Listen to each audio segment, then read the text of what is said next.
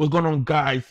It's Chuck Boogie live right here on BLACKSUN radio, and I'm taking calls. Yes, your boy Chuck Boogie is taking calls. So whatever you whatever's on your mind, just call to the radio station and we can just talk.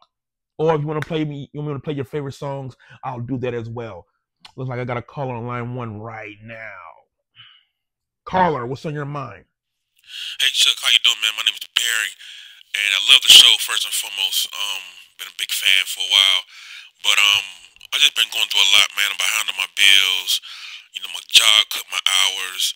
Me and my girl, we've been going. Listen, man, we all man. Been just there need your before. help. We've all been, you know, behind the eight ball in life. Sometimes, sometimes some people never get ahead, you know, because they just give up. And I'm telling you right here, man, do not give up.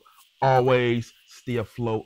Always stay positive. Always have a positive mindset, man, and don't let the trials and tribulations of life um stop you from you know doing whatever it is that you want to do man.